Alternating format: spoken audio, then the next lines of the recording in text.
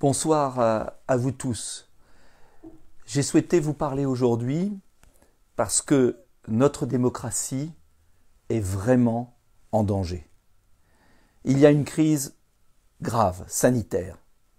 Est-ce une raison pour fermer la démocratie française? Dans quelques instants, va commencer à l'Assemblée nationale les travaux d'une mission d'information, forme de commission d'enquête, pour suivre l'action du gouvernement. A priori, l'idée est bonne. Mais quand on regarde la composition de cette mission d'information, on comprend euh, l'escroquerie démocratique qui est en marche.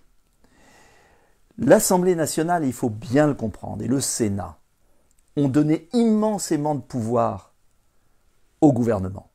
La loi d'urgence sanitaire que j'ai votée parce qu'il y avait urgence à agir, à transférer la quasi-totalité des pouvoirs que nous avons reçus de vous, comme parlementaires, au gouvernement.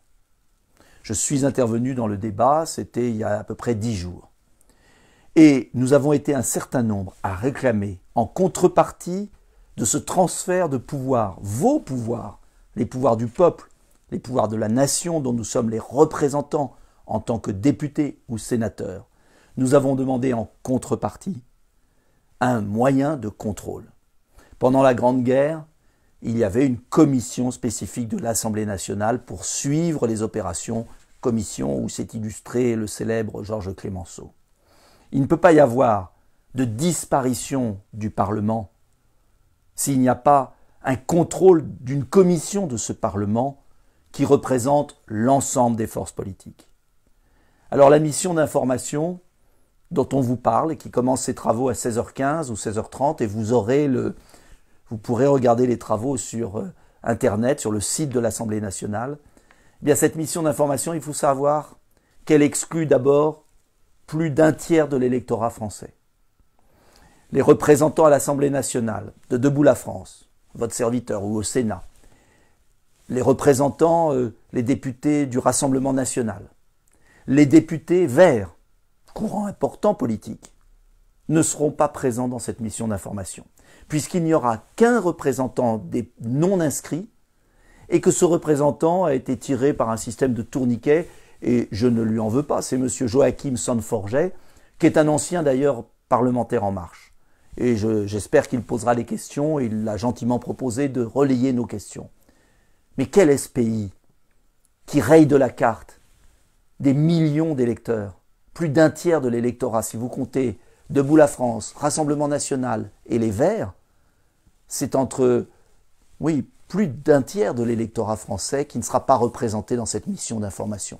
Alors même que le règlement, l'article du règlement, parle de la configuration politique de l'Assemblée et qu'il était tout à fait possible à la conférence des présidents, qui regroupe les huit présidents de groupe, d'ouvrir la commission à davantage de non-inscrits pour représenter les partis politiques comme les Verts, Debout la France ou le Rassemblement national.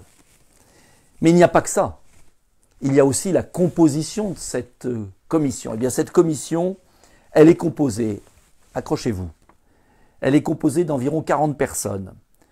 Sur ces 40 personnes, il y a 16 en marche, deux modems, plus les deux présidents de groupe, c'est-à-dire 20 personnes, plus le président de la commission, 21, M. Ferrand.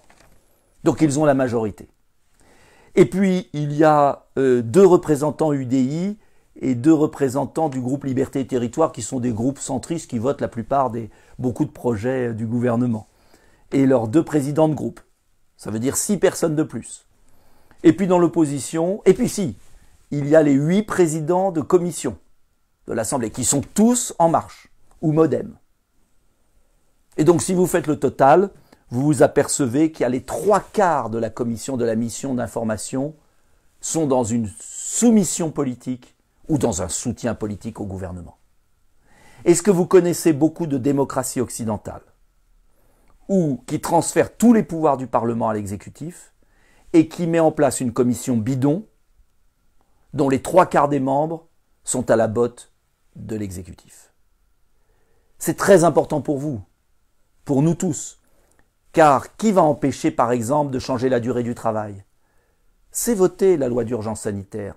Le gouvernement peut changer la durée du travail. Qui va permettre de supprimer les congés payés? Qui va euh, organiser la privation de liberté dans le pays si ce n'est le gouvernement? Alors, pour conclure mon propos, je veux vous dire que quand un tiers des électeurs sont dénués d'existence, quand les trois quarts de la mission d'information, commission d'enquête parlementaire de l'Assemblée nationale sont dépendants du gouvernement, eh, bien, on peut s'interroger. Nous ne sommes plus vraiment en démocratie. La crise sanitaire impose une capacité d'action de l'exécutif, oui, mais la crise sanitaire n'oblige pas à détruire notre démocratie. Le président de la République hier a parlé d'irresponsabilité de ceux qui n'étaient pas dans l'Union nationale.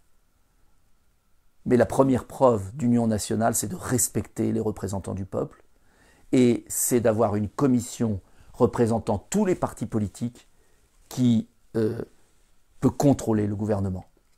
J'ajoute enfin que vous avez remarqué comme moi que l'équilibre de la diversité politique dans les médias n'était plus du tout respecté. J'ai saisi officiellement le président du Conseil supérieur de l'audiovisuel. Et demain, il y aura une émission euh, sur une grande chaîne de télévision où il n'y aura aucun représentant de l'opposition. C'est extrêmement grave. Et je vous rappelle enfin que si sur les masques, il y a eu un changement du gouvernement, c'est parce qu'il y a eu quelques voix libres qui ont dit que les masques servaient à quelque chose. Je vous rappelle qu'il y a 15 jours, il y a 15 jours, le gouvernement nous expliquait que les masques ne servaient à rien. S'il n'y avait pas eu la liberté de parole, s'il n'y avait pas eu les réseaux sociaux, si vous n'aviez pas été présent pour relayer nos vidéos, aujourd'hui il n'y aurait toujours pas de commande de masques, ni de production nationale. Et le président de la République hier a senti le vent du boulet et est allé en catastrophe euh, jouer les pompiers alors qu'il est le principal pyromane. Voilà pourquoi, une dernière fois, je fais appel à vous. Je vous supplie de diffuser les vidéos des résistants partout dans le pays, car il est temps que la vérité apparaisse, il est temps que diverses voix s'expriment, il est temps qu'on puisse infléchir euh, la politique menée pour sauver des vies. Diffusez les vidéos, diffusez les vidéos. Et je vous retrouverai à 18h pour désormais le traditionnel euh, entretien en direct que euh, j'ai chaque semaine à 18h le mercredi avec les internautes. Merci.